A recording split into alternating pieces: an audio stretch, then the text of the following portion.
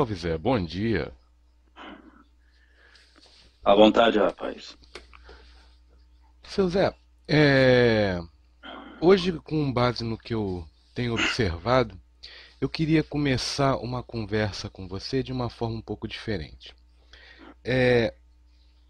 Existe, por exemplo, você já falou várias vezes que você, devido ao psiquismo do médio, você se coloca de uma forma mais agressiva, você fala com. Você passa seu conhecimento através do psiquismo dele. Entendemos mais... que, quando eu falo do psiquismo do médium, não é que o médium seja agressivo. Vamos deixar isso bem acentuado. Sim. O choque da minha energia com a energia do médium, que está impregnada, a energia do médium, do seu Edson, o campo dele está impregnado com a egrégora consciencial que o auxilia ante o molde do psiquismo dele atual. O que, que eu estou tentando dizer? As pessoas que recorrem a ele. Hum. A família. Sim. Os amigos. Os estranhos. Enfim, os seres humanos, a egrégora consciencial não só do médium, também molda de alguma forma o manifesto do Exu. Entendo. Mas, Zé, da seguinte Mas forma... ao mesmo tempo, seu Edson era gaúcho. Perdão, é gaúcho. Sim. Perdão pelo era. É gaúcho. Nasceu no sul. Hoje reside em Salvador. As caracteres dos Exus são extremamente diferentes perante o manifesto. Você acha que eu mudei alguma coisa? Eu não mudei nada. Mas, com o tempo, eu, Exu, Zé Pilintra das Almas, terei que não agradar os outros, porque eu não sou palhaço, mas me moldar de uma forma para me fazer mais aceitável ante os egos e graus de consciências que vão recorrer aos préstimos mediúnicos deste rapaz. Provavelmente não quer dizer que o baiano é violento, não, nem o seu Edson perante o psiquismo é violento. Mas há uma tendenciação de eu me tornar mais agressivo nas palavras, não estúpido. Incisivo nos atos, não arrogante. Sim. O... Por que, que eu quero entrar nesse mérito com você? É uma energia, não é uma propriedade de caráter. É uma energia. Isso é para todos os Exus. Nós vamos se moldando conforme as circunstâncias. Mas eu não perco a minha característica íntima de autenticidade. Tá claro, menino? Sim, senhor. à vontade. É, como eu ia dizer, por que, que eu quero entrar nesse mérito com você? Eu já converso com você já tem um bom tempo. Já, já o Edson já já o conhece há um bom tempo. Mas se eu sou uma pessoa que nunca falei com o Zé, o, qual é a característica principal, não só do Zé, mas em geral, falando no aspecto geral, que eu poderia entender que eu estou realmente falando com o irmão espiritual que se apresentou? Por exemplo, você realmente é um está se passando por uma roupagem de Zé Pilintra e é um espírito que já trabalha na lei. Se outro irmão que não é tão, é, digamos assim, que não trabalha, que ainda não aceitou e se vem passando por um Zé. Como eu consigo ter essa diferenciação? É simples. Se tiver algum claro evidente, vai ver que eu não estou vestido conforme as características da imagem de Zeus Zé Pilintra que as pessoas falam. Nem muito menos ao ser que existiu realmente, veridicamente, como Zé Pilintra. Ou José Pilintra. Não. Mas seria. Eu me visto e me transpareço no plano astral. Nesse exato momento, eu estou a quase seis metros desse médium, com uma roupa futurista e semelhar, semelhar como vocês fazem semelhança, com a do Goi, a polícia de vocês. Uhum. É assim que eu ando, pelo menos como Zé Pilintra das Almas. Raríssimas vezes na mediunidade desse médium, eu tive um manifesto, como vocês conhecem, me caracterizando a visão de outros espíritos, como Zé Pilintra todo de banco, chapéu Panamá e lenço vermelho no pescoço. Para que isso? Se eu não sou assim, eu particularmente não me comprazo com isso. Isso não descaracteriza Zé Pilintra no plano astral. O que caracteriza Zé Pilintra no plano astral é o seu trabalho, o seu péstimo. A roupa não fala por mim. Eu acredito que nem pelo Zé Pilintra. Não adianta vestir-se bem e nutrir-se em senso de realidade ante o convívio com o alheio muito mal, sendo educado pelas maledicências, principalmente pela arrogância e prepotência. Você entende, menino? Sim. Outra coisa. Nos nossas sequências de diálogos, eu não vou usar muito mais a gargalhada ao ponto de exterminar com isso. Por quê? Porque desagrada alguns, ou porque está desagradando outros, ou agradando, não. Eu vou me readaptando até mesmo conforme os seus ouvintes. Olha que interessante. E também eu vou me readaptando conforme o impacto energético de campo de egrégora que os ouvintes, mesmo à distância em seus lares, mesmo sendo gravação, como vocês falam, podem ter como referência de algo a ser odiado, respeitado, seguido ou desleixado ante a mediunidade do seu Edson. A mediunidade ela é em amplitude. As tuas qualidades de médium é que são muito amplas ao umbigo, ou à testa, ou ao coração. Você entende, meu jovem? De certa forma, sim, mas é. É um trabalho de energia. Se é um trabalho de energia e a mediunidade, a sensibilidade envolve isso, é óbvio que a incorporação não envolve só o mentor, ou pretenso mentor, e o médium. Envolve toda a egrégora que os coliga. Envolve até os não afins. Porque a tua não afinidade em mim, ela não me bloqueia, mas ela me molda de um jeito que eu não lhe ofenda. Como assim eu não ofender você? Tipo, já que você não acredita em mim, não acredita na egrégora, no arquétipo, por que, que eu vou me fantasiar de Zé Pelintra? Então eu venho como um homem falar com você. Mesmo que você não acredite, pelo menos o respeito é o início de um bom entendimento. Verdade. Você entende isso, menino? Sim. Então, por ser nesse sentido que eu me caracterizo conforme for as circunstâncias. Isto não é fingimento das entidades, porque tem milhões de entidades que utilizam isso até hoje. Não tem problema algum. Vocês humanos fazem isso. A diferença é que o humano, que não é inferior, carnado, usa com a pretensão de manter uma falsidade que não é. Manter algo que não é. Demonstrar uma essência que não nutre. E nós usamos uma essência que vocês almejam nutrir, mas não conseguem.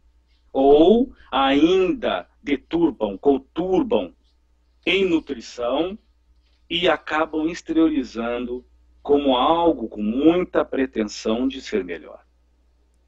Nós somos o intermediador. O Exu não deixa de trazer uma certa harmonia e equilíbrio. As maledicências ou as pretensas. Grife isso. Pretensas. Formas de caridade humana. Ou de bondade também.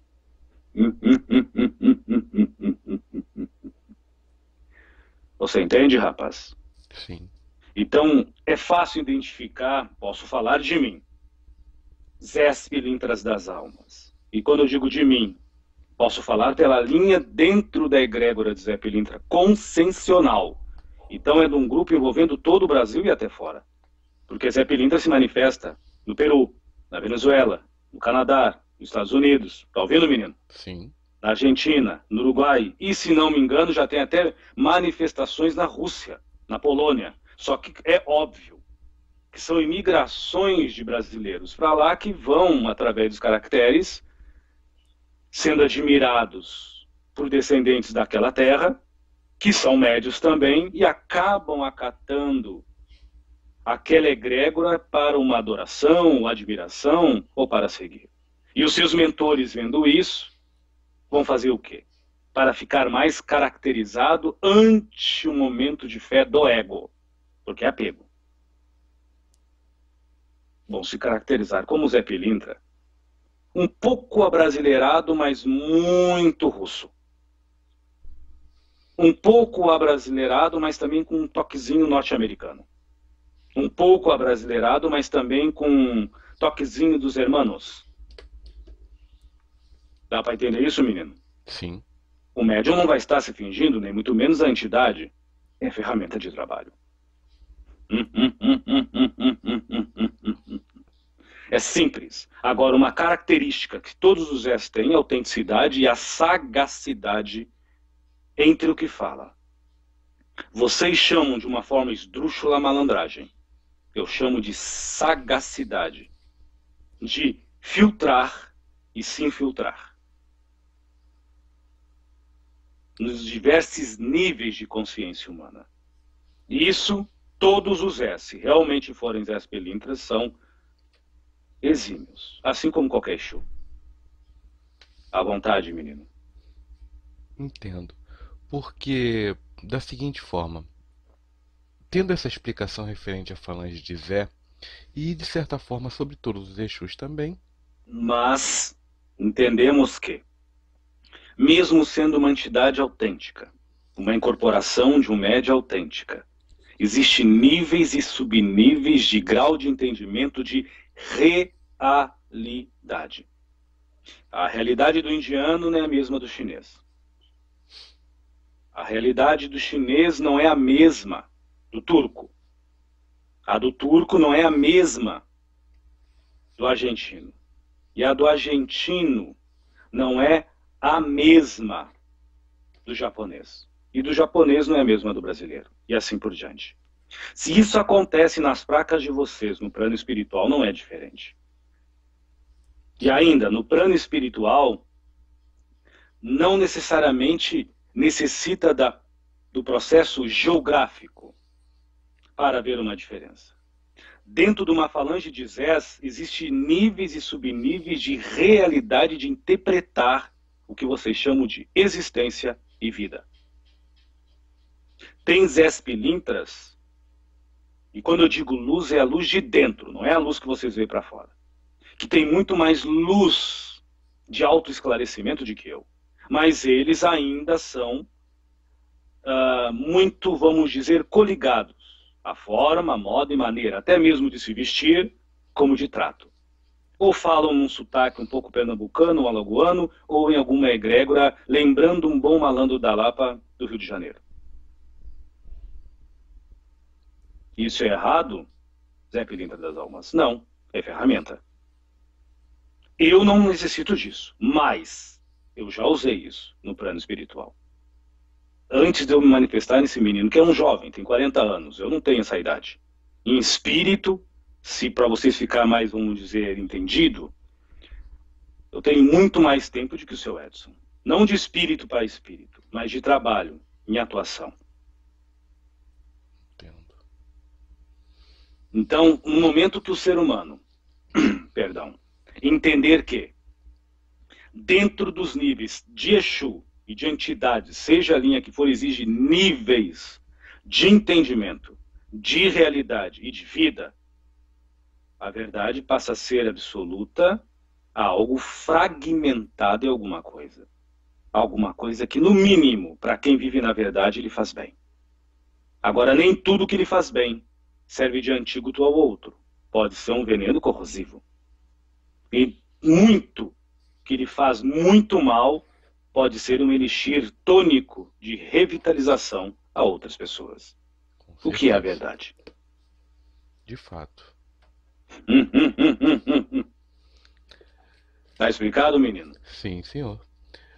É, tendo um cuidado com aqueles irmãos que vão começar, estão começando, estão buscando aprendizado na seja na Umbanda ou em qualquer outra é, religião, ou simplesmente querendo desenvolver o seu lado espiritualista, geralmente eles vão ter essa dúvida: será que eu estou conversando com um irmão que realmente trabalha na lei, que é alguém que eu possa ter uma confiança, ou que é alguém que está querendo se passar por eles para tá tendo, é, digamos assim, algum aproveitamento energético em relação a mim ou satisfação de algum? Eu entendo, amigo. Primeiro, a lei, a lei a lei de Exu não é presa ao bem nem ao mal humano. Sim. Quando eu falo humano, entenda, muitos Exus são humanos, nem todos.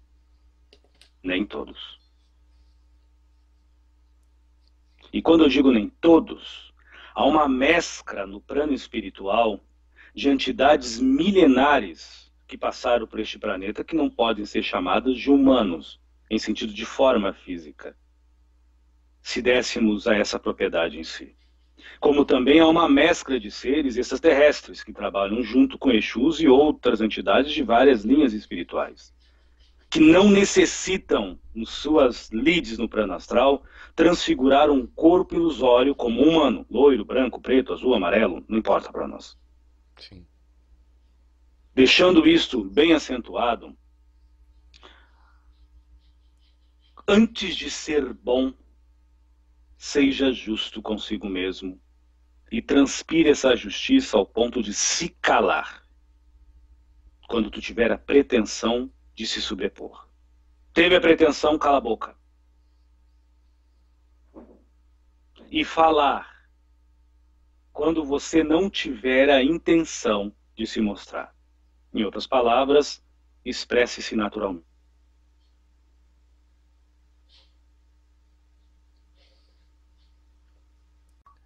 É, levando em frente a, a nossa conversa, é, já tratamos da questão de uma pessoa fazer a identificação de um irmão, pelo menos tentar.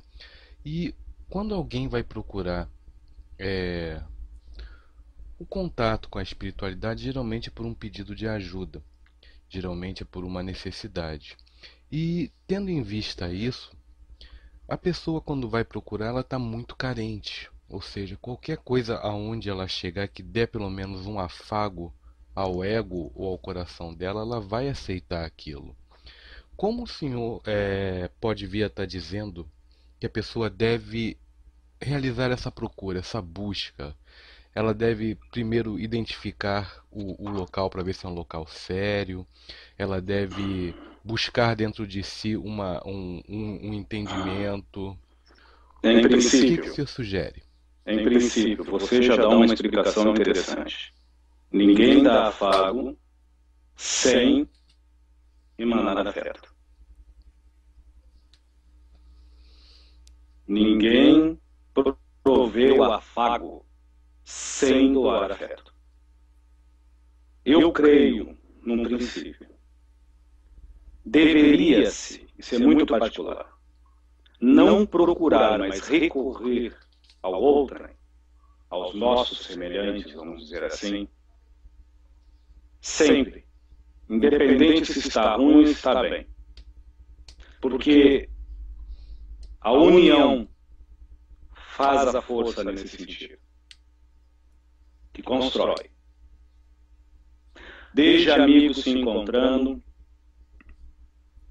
que estão felizes, a pessoas momentaneamente passando por crises psíquicas, emotivas, psicológicas, em grupos particularmente a minha visão, é a mesma coisa. O mesmo remédio será usado nos dois ângulos. Aqueles que estão bem, aqueles que momentaneamente se têm mal. O que vai curá-los é o amor próprio. O que vai medicá-los é o amor alheio.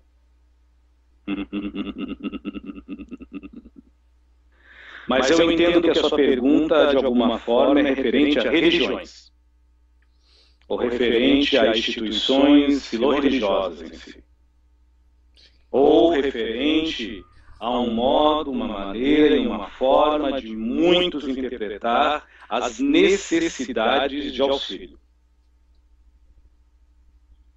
A princípio, nenhum espírito digno, que se diz ser dentro da lei e da luz, reajusta a tua vida. Arruma a tua existência. Nós podemos apenas ser um auxiliar, como você que me escuta também é. No momento que você, no físico, abriu os olhos quando era bebê, ou até mesmo dentro do ventre de sua mãe, você já é um auxiliar da vida, tendo como ferramenta a tua existência. Eu não auxilio coitados eu me comprazo com a existência de seres humanos. Você entende isso, rapaz? Sim. É o meu ponto de vista. Porque se eu, de alguma forma, vim auxiliar alguém com pena, para que isso? com dó, para que isso?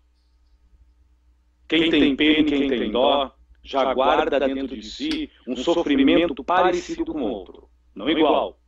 A diferença é que é nutrido e abafado pela pretensão de fazer a caridade. Pensem nisso.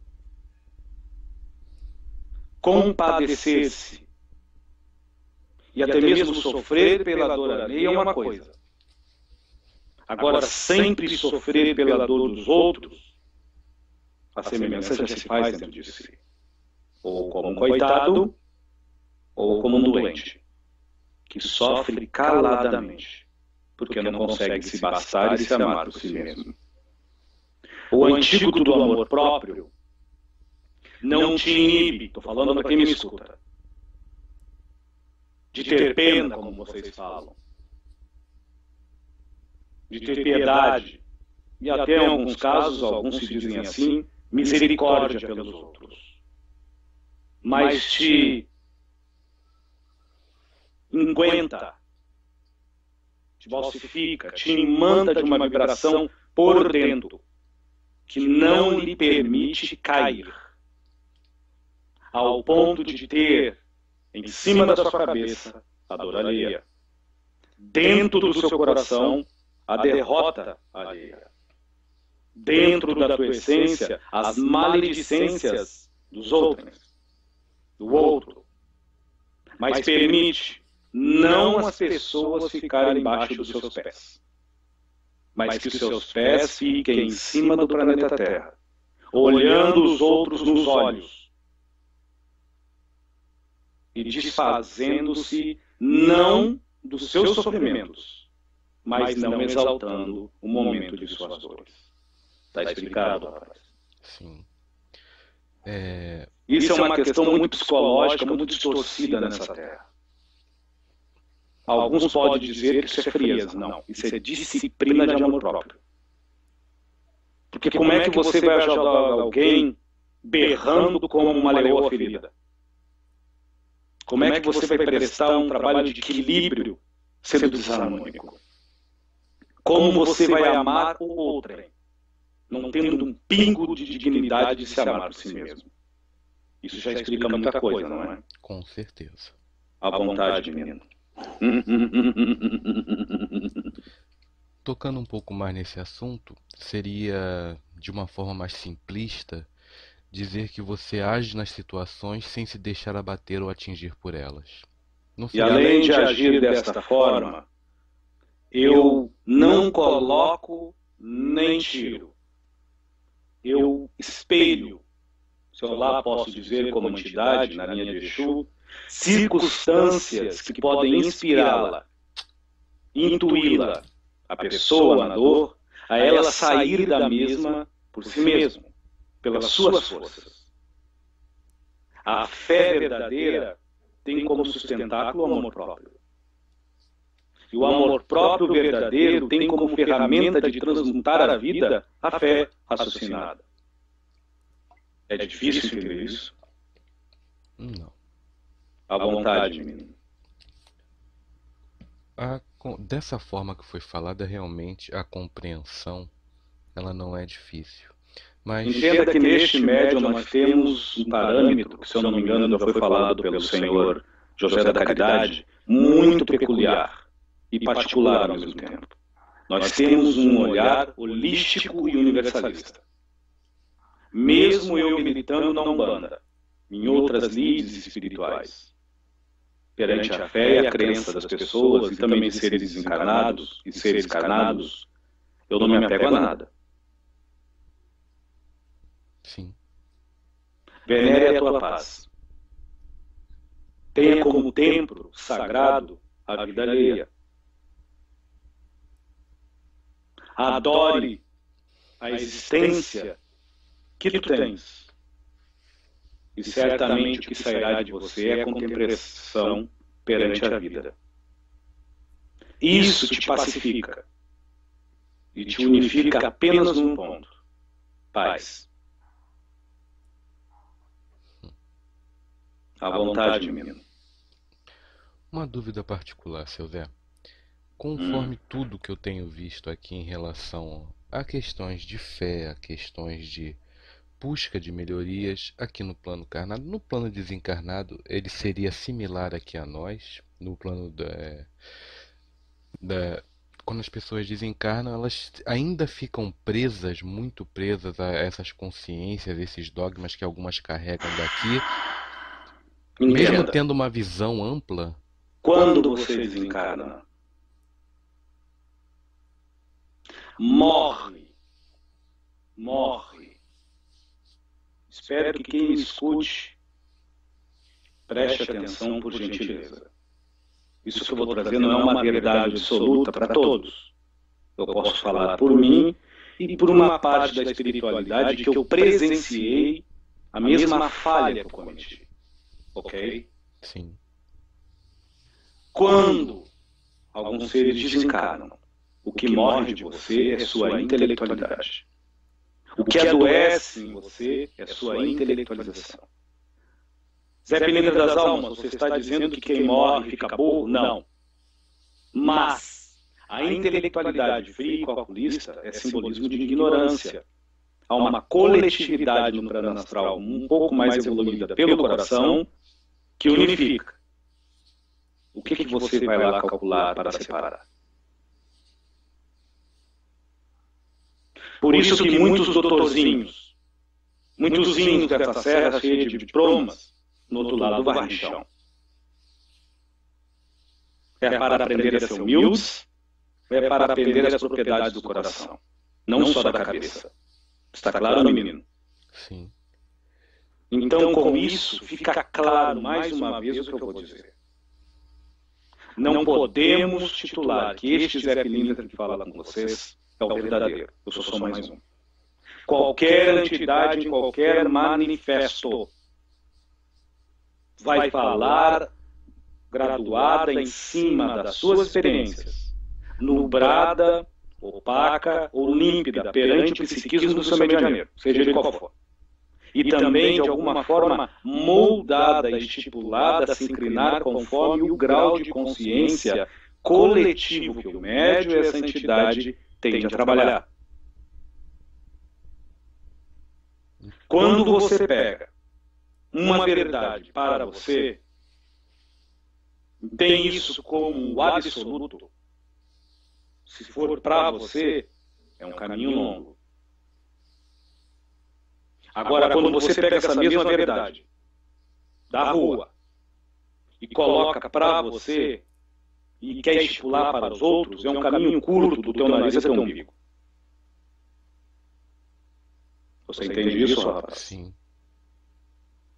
Então eu só sou mais um falando de uma forma universal. Talvez isso seja um pouco diferente se eu viesse em outro médium, até mesmo neste, falando sobre a Umbanda, apenas sobre a Umbanda, ou apenas sobre o catecismo, ou as filoreligiões desta praga, desses Brasis, seria muito diferente. Ou não. Sensatez com cordialidade é um passo firme no silêncio educador do saber ouvir.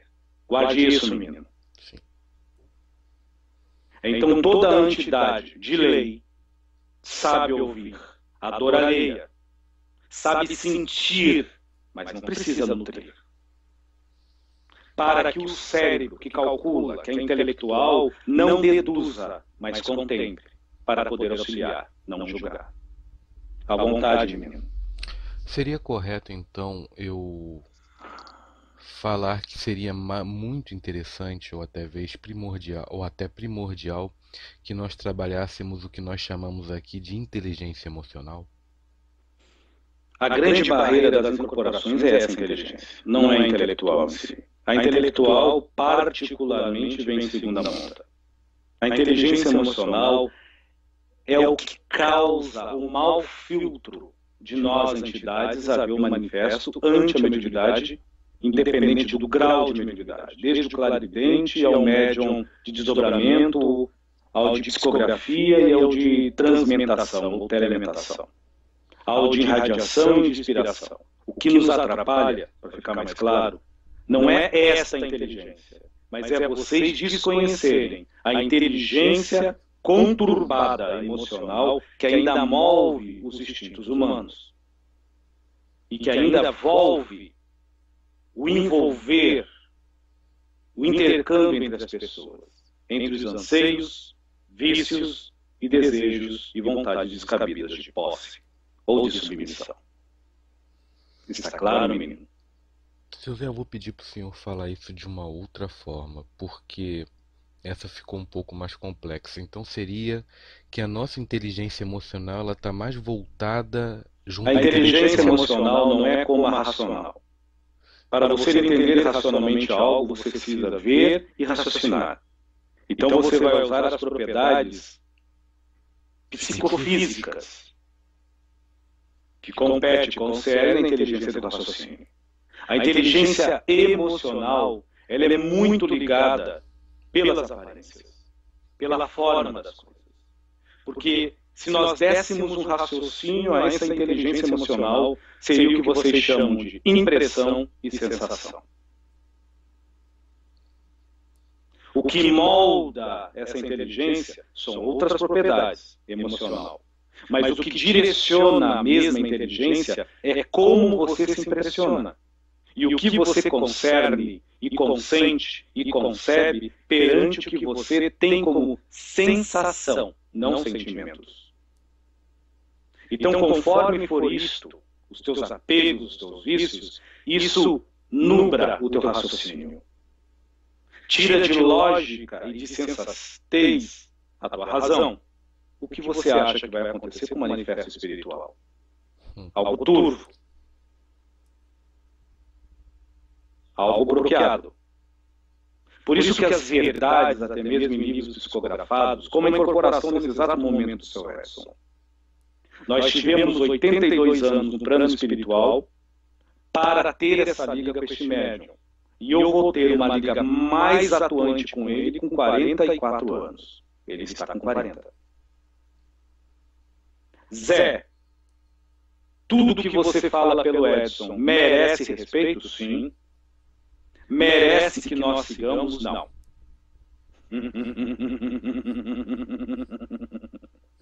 O ouvido de vocês me inclina como um cumprimento de cordialidade e sinal de respeito. Mas o coração de vocês é de vocês. O cérebro de vocês é de vocês. Não é meu, nem do seu Edson. Você entende isso, menino? Sim. Cada um segue o que quiser. Eu só sou mais um. É esse detalhe que evidencia claramente não uma entidade melhor ou mais poderosa, mas no mínimo eu posso falar por mim. A minha intenção é ver vocês felizes e libertos. Ponto. Gostem de mim ou não. Acreditem ou não. Porque quem é feliz e liberto, no mínimo, não é escravo do bem e não é submisso às maledicências de si mesmo ou ao mal. À vontade. Tá certo. É, isso nos leva à a, a, a, seguinte questão. Tendo em vista isso, como, como o, o, o, qual seria a opinião do Zé quanto à questão de que eu entendi isso que foi falado, mas como eu posso melhorar minha percepção? Como eu posso estar vindo a desenvolver um pouco mais a minha inteligência emocional para estar tá tendo a percepção e não ser tão, é, como eu posso dizer, usar tanto a minha racionalidade para a percepção não só da espiritualidade, mas também da realidade à minha volta. Homem, conheça-te e a verdade vos libertará. Ninguém se conhece totalmente calculando, mas vocês podem começar a se autoconhecer sentindo-se. E quando você começa a sentir pelo sentimento, você dá sentido leal às coisas que te norteia e te rodeia, ou te rodeia e te norteia. E quando te norteia, o teu emocional já está ungido pela tua lógica, além do raciocínio, que é de paz interior. Você é mais de tudo isso. Você é mais de todas as coisas que estão ao teu redor, principalmente as inanimadas. Você é mais do que seu carro, mais do que sua casa. Você é mais do que seu relógio, do que seu celular. Então use. Não permita que eles o usem. Zé, o gato, o cachorro, os seres vivos que de alguma forma têm um instinto e um raciocínio. Auxilia-os. Não usam mais. Mas vocês se convertem. Vocês são auxiliados para existir com as coisas inanimadas. E vocês querem usar uns aos outros. Está mais claro? Fato. Sim. Então a intelectualidade impera nessa terra com frieza. E o desequilíbrio emocional com destreza. A disputar para vencer, sem se manter pelo que é. À vontade. Tá certo. O, o fato também é que eu não costumo utilizar isso como uma desculpa, não costumo utilizar isso como uma argumentação. Mas alguns irmãos devem estar se perguntando isso, então acho que vale a pena tocar, acho que já até falamos sobre isso. Tendo isso, esse desequilíbrio emocional, tendo todo o que eu vou chamar de sociedade, de realidade à nossa volta, que vive com esse aspecto de padrão e de frieza, quando nos temos, quando tentamos nos melhorar e desenvolver isso, causamos um choque no mundo à nossa volta e recebemos de volta esse choque, por assim dizer, de não aceitação muitas vezes de uma postura. E mesmo que não seja algo declarado, é algo que você faz perceber da atitude em relação às pessoas à sua volta. Quando existe esse choque e nós queremos nos melhorar, dá uma impressão de imposição de, de ego ou vaidade à questão, às pessoas e à realidade à nossa volta. Quando nós temos essa percepção, muitas vezes nos sentimos um pouco inibidos a estar tá tomando essa postura e acabamos por voltar à palavra sistema que eu vou utilizar agora, que nos mantém nessa sociedade. Só se molda pelo sistema porque você já é corrompido. Eu entendi tudo o que você falou. Uma pessoa que necessita observar-se baseada pelo que está lá fora é um covarde que tem medo de vasculhar o que está lá dentro. Porque se é uma pessoa de coragem que vasculha o que está dentro, Pouco importa o que os outros acham lá fora. Sim. Seria disfarçadamente uma artimanha do ego que está utilizando a vaidade. Porque a naturalidade não te envaidece, ela te enobrece como um ser em paz íntima. Tudo que você fizer com naturalidade não envaidece, não lhe corrompe. Mas é, eu conheço pessoas que fazem coisas horrendas com naturalidade. Não, é impossível. Zé, eu conheço pessoas neste planeta, Terra, com essa dualidade, que fazem um bem 100% com naturalidade. Eu posso dizer que hoje isso ainda é impossível. Teve aí meia dúzia de gato pingado. Um deles foi Jesus, Buda e outros que estão por aí. E quando eu digo naturalidade, é aquela naturalidade que vem de dentro de uma forma inibida de qualquer pretensão de estar e ser, porque ela já é natural. Essa fórmula, sem pretensão, te dá paz. Ela não te corrompe pelo dinheiro. Não te corrompe pelos flashes de câmeras de televisão ou fotografias. O senhor me perdoe, mas eu não estou jogando chapéu para você, é para cima. Sim. Não me corrompe por curtidas no Facebook. Por aumentos de público no YouTube.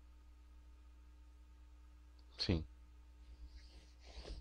Mas lhe compras pela paz tua, que de alguma forma natural, sem pretensão, exala para fora. Isso te dá paz. Isso te autoconquista para si mesmo.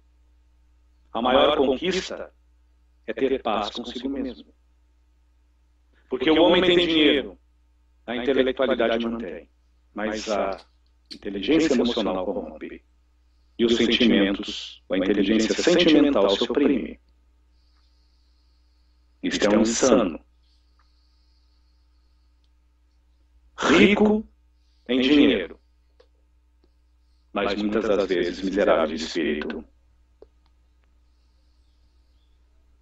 O que, é que vocês querem? Andem no carro do ano, comprem o que quiser, vivam a vida.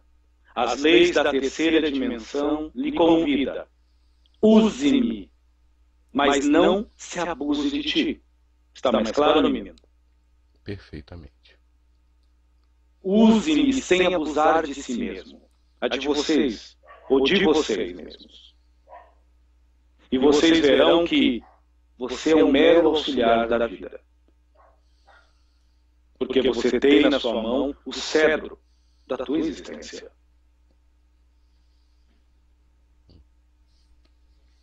Auxilie os seus semelhantes que têm instinto, raciocínio ou vida não inanimada, como uma vibração de um móvel ou de um imóvel.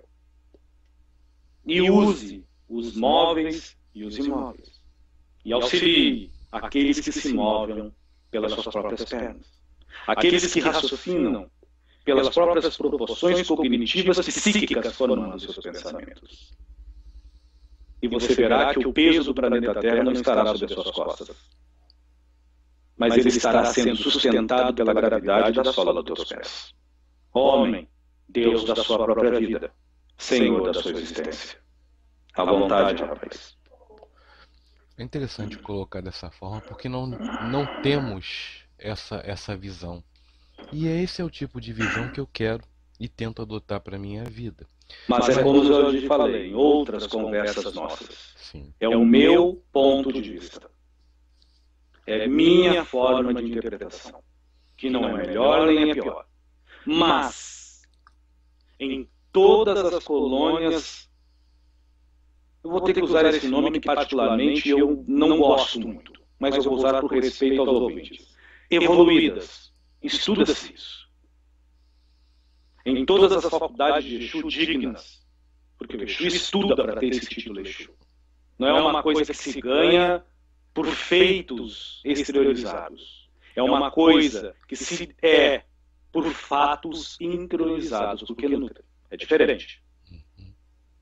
Então, nessas faculdades, nós estudamos o mesmo preceito que eu estou lhe trazendo. Por que, que as entidades não fazem isso? Inteligência emocional dos médios. Zé Pilintra, o seu médium, ele é equilibrado emocionalmente 100%? Não, longe disso. Ele é ser humano. Mas por que, que você consegue falar isso? Eu acabei de dizer.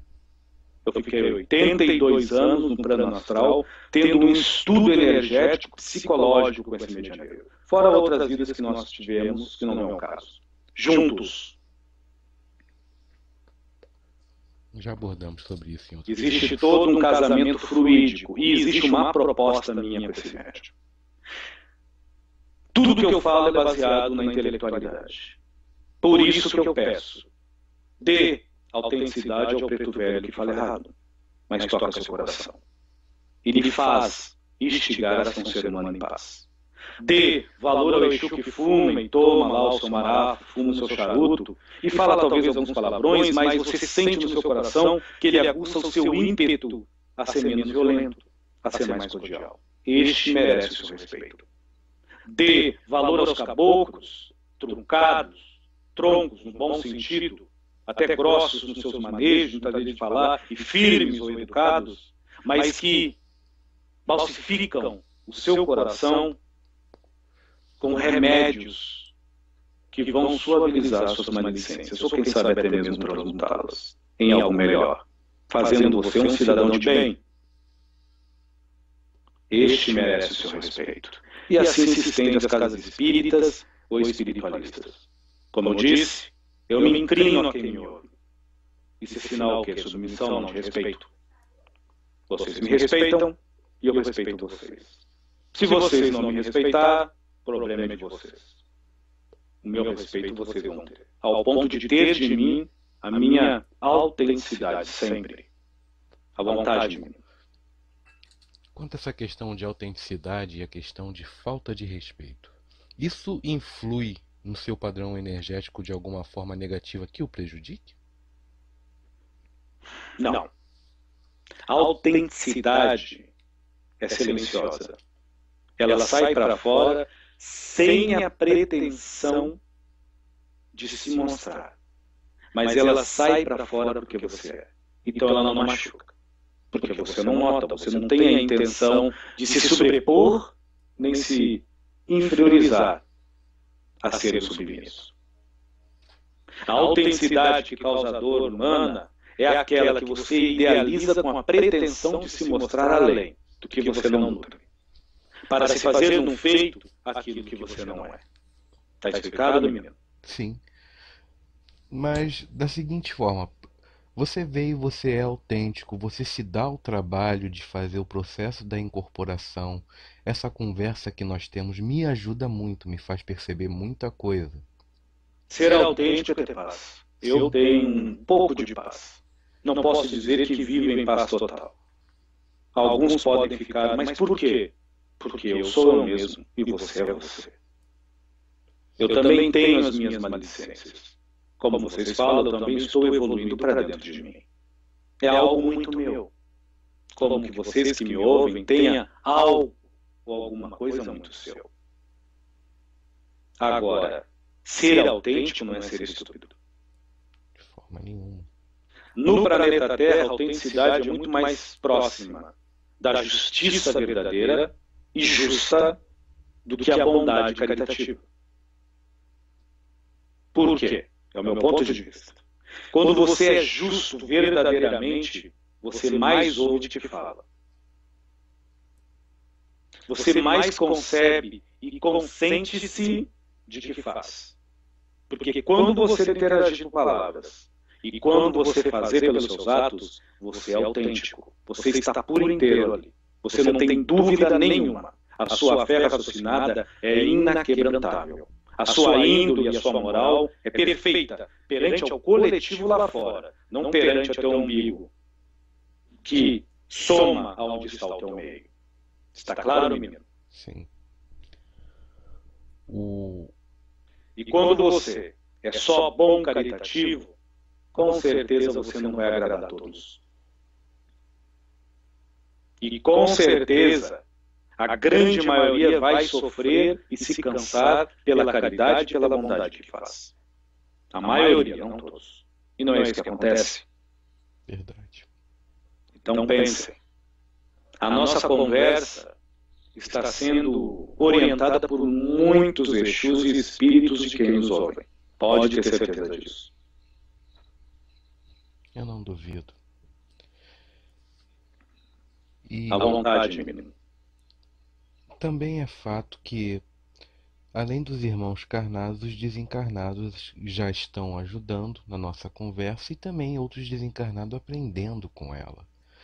É, Para a pessoa que está ouvindo na sua família, existem irmãos, é, dentro da sua casa, aliás, existem irmãos desencarnados que lá estão e que também percebem essa conversa. Essa Mesmo que a pessoa esteja com fone de ouvido, todo o corpo dela vibra energia bioeletromagnética. É inaudível ao ouvido humano, apesar que tem algumas máquinas que podem escutar os pulsos, não é assim? Sim. Fazer as pessoas ouvir a pulsação do ser humano, vibrátil, não no corpo. Imagina no plano espiritual. Se tudo que você pensa cria uma egrégora no teu campo, é audível para nós espíritos. E também para alguns irmãos de luz, como vocês falam, e como também alguns irmãos que vocês chamam de obsessores. E isso seria, digamos assim, uma ajuda. É uma pausa para reflexão. Bom. Graças a Deus. A minha proposta aqui não é ajudar, transmutar a vida de ninguém. Eu sou só um auxiliar da vida, porque eu respeito a minha existência no plano espiritual. e é de vocês que me escutam. Eu não trago o meu melhor. Eu só trago o que realmente eu vivo no plano astral. Eu filtro isso com o coletivo. Eu não filtro isso com o umbigo do médium, nem muito menos com a pretensão de eu mostrar-me a vocês. Como importa o que vocês acham de mim. Eu falo isso com muito respeito. Eu entendo. Isso é uma questão de autenticidade, como já percebemos que é um espírito que Lembrando que a autenticidade é a naturalidade de ser. Sim. O que é? Não é de estar se fazendo e ser se mantendo. É é. Ponto. A vontade, menino. Não nesse, tem meio termo.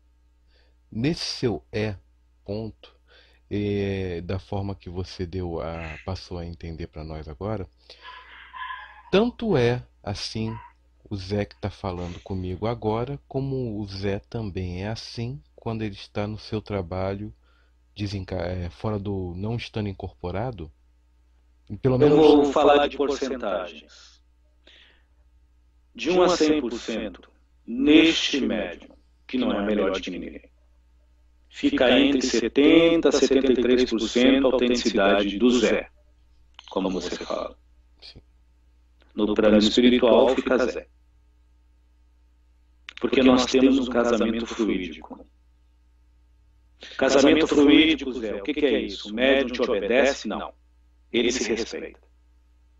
Casamento fluídico, Zé, o médium te ama? Não. Ele se ama. Casamento fluídico, Zé, ele tem que acreditar em tudo que você fala? Não. Ele se interroga pela reforma. Você entende, menino? Sim. Ele é livre. Isso flui. Ele não é preso a nada. A não ser a existência, que em si já é liberdade pura. E a vida é o campo para a existência garimpar experiências e informação. À vontade, menino. O, o fato de, do Zé estar nessa porcentagem com o Edson e nos seus 100%. E não interprete isso como algo alto. Porque não. tem médios que eu vibro nesses Brasis que a porcentagem é de 30%. Eu só escrevo com outros nomes. Tem outros médios, que não são muitos. Não são muitos médios que eu trabalho. A mesma entidade que vos fala. Que eu me manifesto, já disse isso. Quem quiser seguir os outros programas que você fala. Isso.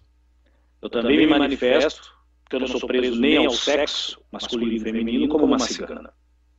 Que eu vibro nessa menina, e é realmente uma menina, tem menos de 20 anos, carnada, como uma cigana. E nela é 30%, ela é quase totalmente consciente, bem diferente do seu Edson, que ainda é mais inconsciente até os 42 anos. Depois vai mudar muito, até pelo pretexto do trabalho. E nela, as minhas informações são quase 100% autênticas. Por quê? Pela forma de manifestação do trabalho e pela inteligência emocional diferenciada dela? dela e do conjunto, de toda a egrégora em si, que me traz essa experiência neste campo vida através da existência minha formatada como uma cigana do Ere. É uma experiência nova para mim. Então eu deixo o que a intelectualidade sabia e boto de lado o que o emocional consente e sente consentimental como Zé Pilintra das Almas. Então, de alguma forma, eu também estou tendo uma vasta experiência virgem e, por que não dizer, nutritiva ao meu psiquismo eterno. De fato. Olhando Você entende isso, menino? Olhando por esse ângulo, sim. É que nós não temos muitas vezes oportunidade de falar dessa forma. Isso é uma mensagem para o Senhor pelo seu trabalho e para quem quiser ouvir. Nós almejamos aos carnados perguntas sensatas. Vocês terão respostas legítimas. Nós somos humanos, vivendo em outra dimensão, nada mais disso. À vontade. Então, é, a sua experiência como cigana, sua experiência como qualquer outra falange, qualquer outra forma de trabalho, ela é todas elas, embora sejam fragmentações da consciência que no momento se passa por Zé, elas são elas somatizam a você na sua totalidade. E isso você pode aplicar em qualquer uma delas para auxiliar no trabalho. É isso mesmo. Hum. Tudo é uma soma. É você que faz o processo de brilhamento por dentro. E é você que, de alguma forma, escolhe se corromper, destruir, corroer ou se emanar, construir e transformar por fora.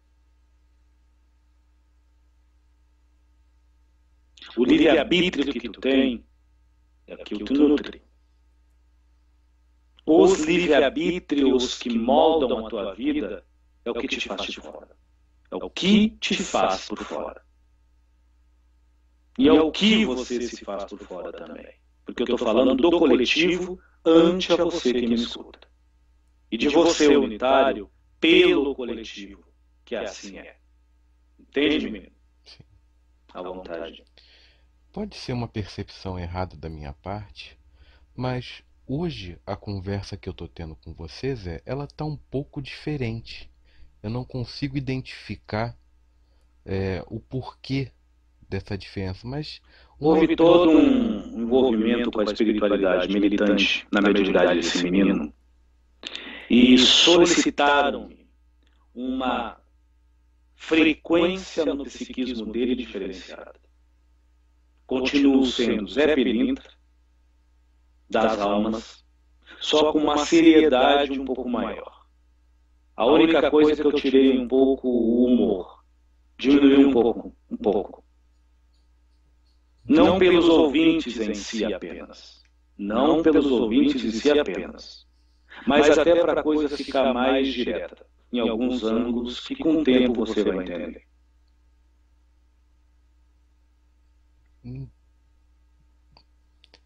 Essa questão, essa, essa, essa, como você disse, não foi somente pela questão das pessoas que estão ouvindo, mas isso de alguma forma é, atrapalhou o seu trabalho para que tenha que ter sido mudado dessa forma, Zé? Não. Não, pelo contrário, há um acréscimo. Se houve um acréscimo, necessita uma aplicação mais disciplinar. Entendi. Agora eu entendi. Se o complexo do seu trabalho está envolvendo não só carnados, mas entidades, nós não podemos falar só para os carnados. Nós também devemos, por lógica, transmitir o conhecimento ou a informação para as entidades. Eu estou assim mais para as entidades encarnadas do que para os carnados em si. Entendo. O outro plano é mais objetivo. Neste plano vocês são coadjuvantes. No outro plano vocês são atores, atuantes. Mais sensíveis ao todo. E aqui vocês são agressíveis e dominados pelo tudo, que vocês apenas acham que são, mas não estão nutrindo. À vontade, menino.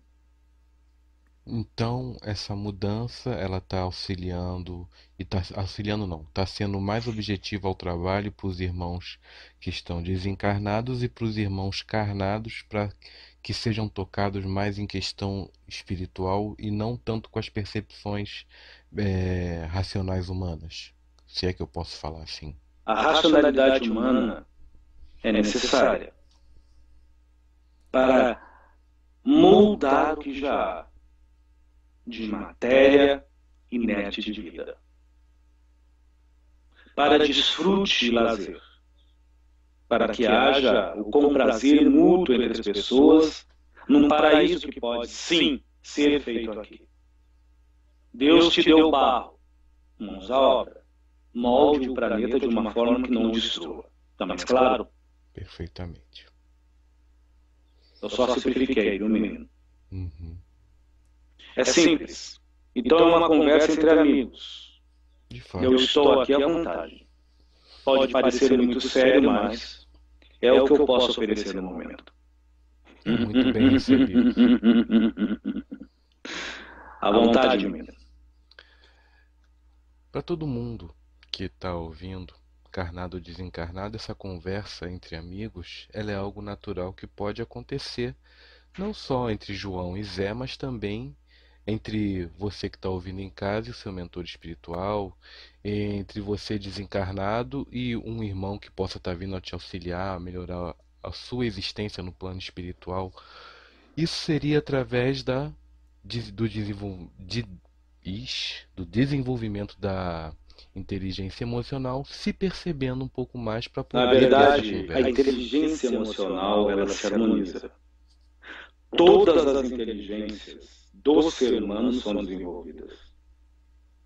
O que não é desenvolvido é a harmonia e o equilíbrio da sensibilidade. O que não é disciplinado é a mediunidade. Quem precisa de coordenação, de leme, é a mediunidade. Quem precisa de propulsão, desenvolvimento, e ação é a sensibilidade. Se haver o desenvolvimento da tua sensibilidade, haverá sensibilização perante a tua existência. Instantaneamente o respeito perante a tudo que há, ante a vida que você vive. E com as pessoas que você sobrevive. Isso já bota por terra as diferenças, mesmo que existam, e hão de existir perante a tua intelectualidade. Mas também não haverá a pontuação de você superior nem inferior. Você é apenas como um auxiliar da realidade atual, da dimensão que você está atuando. Tá claro, menino? Sim. Hum. Para para toda pessoa que ouviu isso, que que está percebendo, que está sentindo, seja isso dá para nós perdão. Pois não, seu Zé. Um vasto meio para atuar nas tuas propriedades mediúnicas. E um vasto leque, como uma biblioteca enorme da tua existência, em espírito, que reencarnou várias vezes neste planeta e até mesmo em outros, perante a tua sensibilidade, ante a tua espiritualização e evolução para dentro. Fica mais fácil para nós ler os teus livros psíquicos, os teus arquivos psíquicos e fica muito mais fácil para nós nos manifestar pelo racional, pelo emocional e até mesmo pelo sentimental, e por que não dizer, pelas algumas propriedades cognitivas do instinto, para lhe precaver de alguma coisa, vamos dizer assim. Entende isso, menino? Sim. Isso me Quando os médios só são intelectuais ou intelectuais sem se auto-espiritualizar, sem haver esse mergulho para dentro, só querer se mostrar para fora, é como uma biblioteca toda desordenada. Os livros não vão deixar de existir. As informações não vão deixar de estar lá. Mas o Z é misturado com A. Você entende isso? Sim. E além do Z ser misturado com A, o Z é escrito em aramaico. O A é escrito em grego. O B é escrito em português. Você entende isso? Sim. Então fica o nosso trabalho mais difícil. É para dentro a evolução mediúnica. É para dentro a disciplina mediúnica. E é para dentro o desenvolver da sensibilidade. Para o que sair para fora seja apenas você com lealdade pelo que sente, pelo que nutre, pelo que pensa. E você atuando como médium, porque apenas é. Ponto universalmente, mesmo dentro da Umbanda ou dentro da doutrina espírita, no caso aqui do Brasil. Ou até mesmo na lista do Candomblé e outras. Você é o médio do universo, que milita em filosofias distintas, mas não deixa de ser um sensível das estrelas. Um mecanismo cósmico da canalização do pensamento que gravita no cosmo, não apenas no terreiro nem muito menos apenas numa casa espírita, não diminuindo as mesmas. Você entende isso, menino? Sim. Mas isso foi conturbado com o tempo. Ante aos egos, preso em dogmas, sofismos, achismos e cosmezinhos em si. De disputa, de posse, de submissão, que o medo provê e a culpa impõe. À vontade. Isso nos faz pensar e observar. Interessante, eu nunca tinha pensado dessa forma que você disse. É, a quantidade de besteira, de sentimentos negativos, pensamentos er que eu posso considerar como errôneos ou errados ou não auxiliadores, devem realmente dar um trabalho danado em questão dessa biblioteca individual de cada um. É bom porque as pessoas pensam. Isso não estou falando por mim, mas por qualquer entidade que tenha um pouco de sensatez. Que tenha um pouco de dignidade também e respeito perante a existência dos outros seres psíquicos e conscienciais. Você entende, menino? Entendo. Entendo também como deve ser complicado, não só para vocês é, da espiritualidade que trabalham junto a nós, nos auxiliando e buscando evolução também, ter esse contato com essa, essa, essas. Vou usar esse termo, que eu acho que é conhecido para muitos. Esse, essas formas, pensamentos, elas não influem também na realidade a ponto de estar tá vindo a dificultar o trabalho de vocês? As formas, pensamentos, quando são muito mantidas, elas propulsam no teu campo eletromagnético, não dentro do teu corpo físico, mas ao redor, 20 até mesmo 90 centímetros, Depende, conforme for, o tempo de nutrição das mesmas. Tem umas que muitas vezes ficam metros, quilômetros de você, mas ligada com teu psique, envolvendo as propriedades de ânsia, vício, apego do teu ego. Exemplo. Eu só incorporo se eu tiver o meu corpo vestido de Zé Pilintra. Isso é o quê? Isso é um, um apego, uma necessidade que uma desnecessária. O um meu Exu só trabalha se o charuto dele for bom. A cachaça for boa. O espírito de luz que me assiste só vai psicografar se fizer uma ladainha, uma oração, sala e meditação em silêncio, porque senão a vibração não sobe. Isso é falta de estudo, até mesmo de como foi feito os cinco livros da quantificação. É óbvio que se vocês proporcionar para nós um ambiente mais propício, a coisa vai sair. Mas é óbvio que perante o mundo que anda e as ruidez e os barulhos que estão, se você estiver no inferno dentro, os anjos só vão orar e dizer amém. Se você tiver um céu e um oásis de paz por dentro, os anjos, os espíritos de luz, vão poder executar algo com você que vai refletir também como uma oração para não só ele dizer amém, mas para todos agradecerem Osana.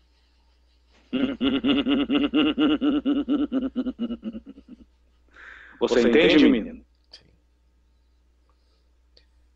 Então tem coisas muito distorcidas. De fato. A doutrina espírita. Onde é que estão os médios de limitação? Onde é que estão os médicos de efeito físico? Que faziam isso tocando a bandinha na rua porque bortavam um cartaz que teria uma reunião espiritual com processos sobrenaturais. E a banda tocando lá fora. E o falatório no público, ante os teatros lotados, no início do século, ou no caso, no milênio passado. 1905, 1895, Onde é que está tudo isso? Tinha concentração aonde nisso? E os efeitos não eram feitos? Com muito mais força do que agora? É óbvio, repito de novo, que necessita da concentração. Mas nós necessitamos da passividade e da paz do teu espírito, do teu coração. Porque nós respeitamos o alheio. Nós respeitamos a ignorância alheia. Vocês criaram um monte de regrinhas. O ego criou regrinhas.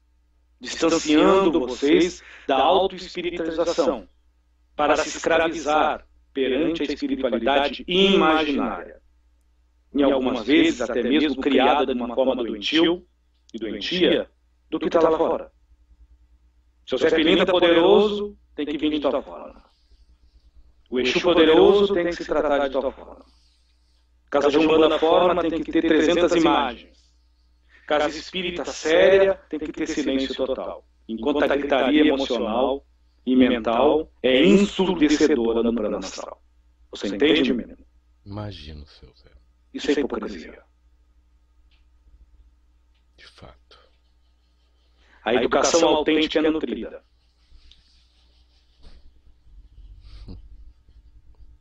À vontade. Esse termo agora que o senhor utilizou, gritaria emocional. Imagino que isso seja realmente difícil para vocês, pois nós percebemos. O emocional, ele reflete muito nas tensões musculares. E reflete muito nas propriedades minerais do organismo. Isso no campo bioeletromagnético. Dentro e fora do corpo. A ciência ainda de provar isso ecoa a quilômetros no ser humano que se encontra emocionalmente conturbado um som de metais batendo no outro. São estridentes. Cria-se em volta do campo dessa pessoa, geralmente cores escuras, como se fosse ferro fundido. Está ouvindo, menino? Estou. Estou dando a minha explicação, isso tem em alguns livros de uma forma muito amena. Não que eu sou melhor. Cheira muitas vezes ao que vocês chamam de pus de batata podre também. Está ouvindo? Sim. No plano astral. É óbvio que os similares vão prestar atenção nisso. Aí começa a desobsessão, obsessão, perdão. E necessita da desobsessão. Vocês chamam também algumas propriedades de ametais. Estou falando em termos vibracional. Não é um metal no outro no plano espiritual, é a vibração bioeletromagnética provoca isso. Quando não, uma espécie de turbilhonamento, como se fosse um, um ciclone. É em volta da pessoa. Como é que é esse ciclone, Zé? Geralmente é cinza escuro com um verde fosco e com uma cor chamada grena, cor de sangue morta, aquele sangue parado. Isso tudo no campo emocional. Essa cor, quando passa os raios ultravioleta, infravermelho, do sol físico de vocês, no corpo de vocês, reflete no teu campo, antes de chegar no corpo físico, transpassa essa energia, mesmo invisível, aqui na terceira dimensão, mas visível para nós, transpassa-se uma cor mais viva, um vermelho. Este vermelho vai criando um estado de irritabilidade na pessoa de intranquilidade e de ansiedade. Esse verde fosco, morto, vai criando uma espécie de melancolia. Você entende? Como uma lente ao redor de vocês, girando ininterruptamente, principalmente na altura do cardíaco, chakra solar e esfrênico. Pensem nisso para quem estuda, os terapeutas. Eu só estou dando uma coisa da espiritualidade que ainda não é passada para cá. Ainda.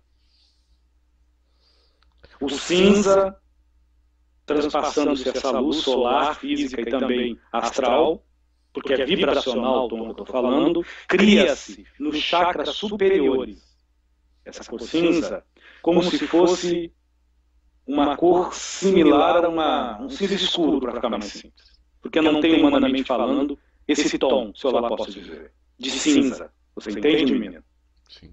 Isto ofusca principalmente o chakra frontal, laríngeo e o chakra coronário, atuando profundamente na tireoide, paratireoide, laríngeo, profundamente na glândula pituitária, frontal e profundamente na glândula pineal, coronária. Como é que nós vamos ligar uma pessoa dessa de uma forma que não vai contundir e conturbar os processos mediúnicos e a autenticidade do espírito que está ali em comunicação. E o chakra básico fica não como isolado, mas fica à deriva, captando as frequências vibracionais, como um vampiro do grupo, do ambiente familiar. e das pessoas que o rodeiam, principalmente espíritos ou carnados similares. Está explicado, menino. Verdade.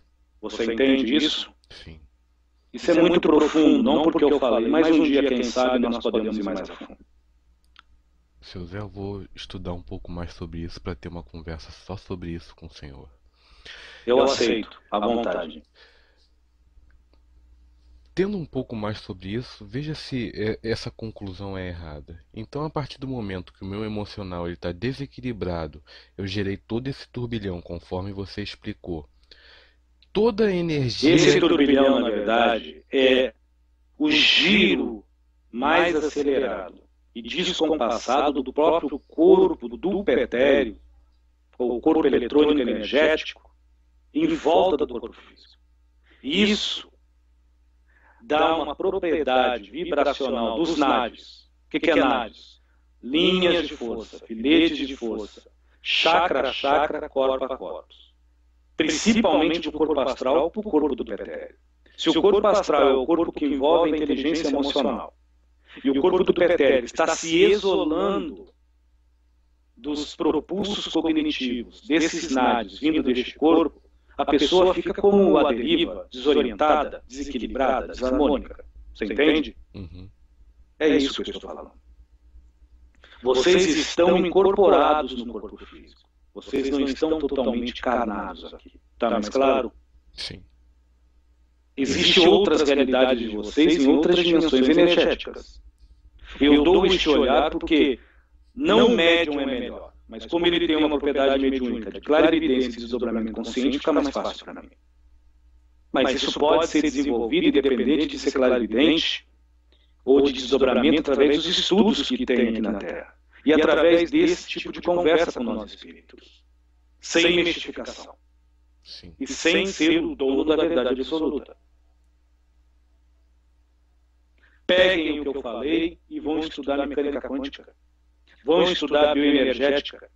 Vão estudar radiestesia e depois me dizem se tem alguma bobagem.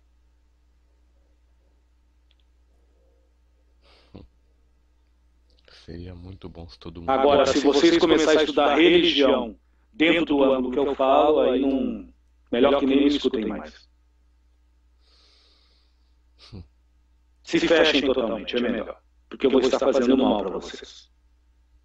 Agora, se vocês pegar a religião de vocês com religiosidade e abrir para esses estudos, com certeza, não por mim, mas a alma de vocês há de aplaudir e os espíritos de luz ao redor de vocês vão se chegar a mais. Porque o que te salva é a tua religiosidade, não tua religião. O que te liberta é a tua paz. Aqui tu nutre, não a que tu vê lá fora. Entende, menino? Sim. À vontade. Tenho mais cinco minutos. Ah, seu Zé. Então, seu Zé, já que nós temos tão pouco tempo assim, eu quero lhe agradecer por mais esse bate-papo. Foi muito esclarecedor. Muito bom mesmo. É, o aprendizado aqui se fez de uma forma diferente. Mas mais suave, mais branda. Sim. E a tendência é nós nos fazermos da mesma forma que eu estou manifestando no seu Edson, pelo menos no seu programa. Sem problema, estou Não é que seja melhor ou pior, a proposta é diferente.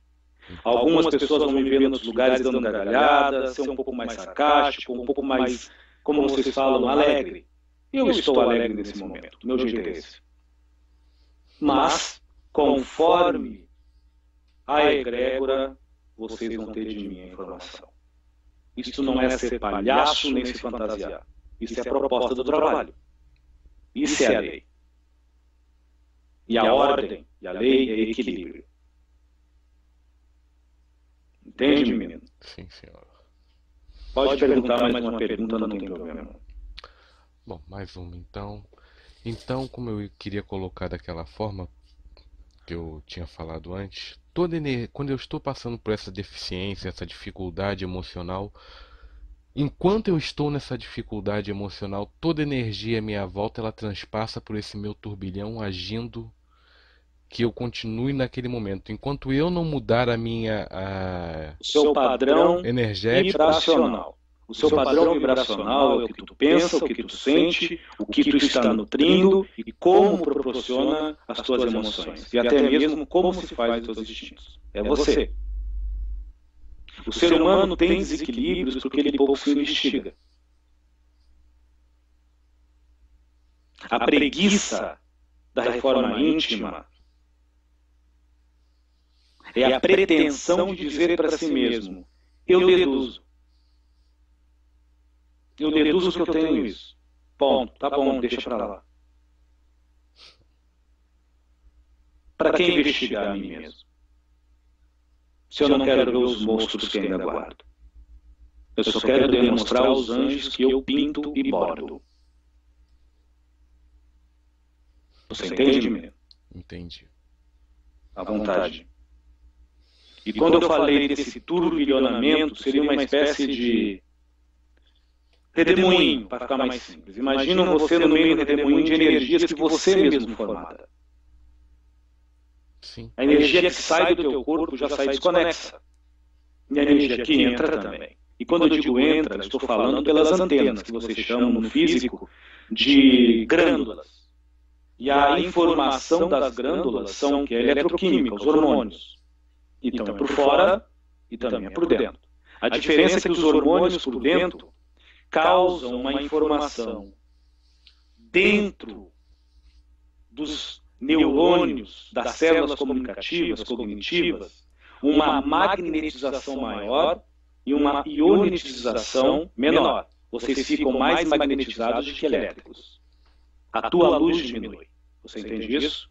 Olha que interessante. Então seria por isso que a maioria dos E ao mesmo tempo, por fora, vocês ficam muito mais ionizados. E ao mesmo tempo, muito menos magnetizados. Então você descorrompe, para ficar mais simples, a tua liga com o planeta. Vocês passam de alguma forma a mesma situação de alguns dragões e magos negros no plano espiritual. É óbvio, de uma forma muito amena. A deles são muito mais profundas. Se o que te prende nessa terra são os metais e os metalóides, a frequência vibracionais dessas propriedades. Está claro, menino? Sim. O que é metal e metalóide? O que é metalóide? Ouro e outros, enfim. Entende, menino? O que é metal? Ferro. Estou dando um exemplo. Sim. Então, essa frequência, quando eu digo prende, não quer dizer que você sair daqui você vai virar um anjo. Pelo contrário, você não vai sair da dimensão da Terra, você vai sair da realidade da terceira dimensão. Tendo o quê? Bipolaridade, depressão, psicose, esquizofrenia, neurose, fobias, manias, medos. Dá para entender ou não? Sim. Você tira os pés do chão. Vira de cabeça para baixo, enterra-se. Tá mais claro? Agora eu fiz uma correlação, mas não é deboche, não. Sim. Você inverte as coisas. Tanto é que você passa nesse turbilhamento a captar tudo pelo chakra básico. É só as pessoas escutarem o que eu falei antes. Você vai continuar pensando, vai continuar sentindo, vai continuar tendo os seus reflexos cognitivos distintos, mas quase todos destrutivos, porque você não vai conseguir sair das mesmas manias. Sair dos mesmos costumes. E se desprender dos mesmos círculos viciosos de ansiedade em si, seja sexual, seja de alimentação, seja de postura, seja intelectual, seja sentimental, seja dual e até mesmo higiênico. E perante as propriedades vivenciais. Está mais claro? Sim. Bom Por isso que tem todos esses processos terapêuticos. Por isso que tem vários tratamentos psicológicos e outras coisas. Esse médium nos ajudou porque quando ele era crente, eu solicitei a ele, quer dizer agora que todo médico tem que ser terapeuta. O melhor terapeuta é aquele que vive em paz. Então não precisa ser terapeuta holístico, entende, menino? Mas ele nos dá subsídio estudando, mesmo que não fosse terapeuta, mas estudando de tudo, para quando Zé Pilintra das Almas vir, pegar na biblioteca bem organizada o que eu quero falar, não o que ele quer mostrar. O que eu venho trazer, não o que ele veio impor. Está mais claro? Sim. Porque isso que eu falei, isso Edson não sabe. Pelo menos até não escutar o que você está gravando. Ele deduz. E provavelmente depois de ouvir, ele vai aos livros, vai estudar e vai procurar. Verdade. E eu solicito isso, procure mesmo. Não acreditem em mim, mas procurem. Vocês vão ver que a verdade é uma só. Homem, conheça-te a verdade, vos libertará dos seus próprios males, da dúvida de quem você é. O maior mal humano é duvidar-se de si mesmo. Muito obrigado, meu menino. Eu agradeço a todos que me ouviram. Muito obrigado a você, Zé, grande amigo. Muito obrigado.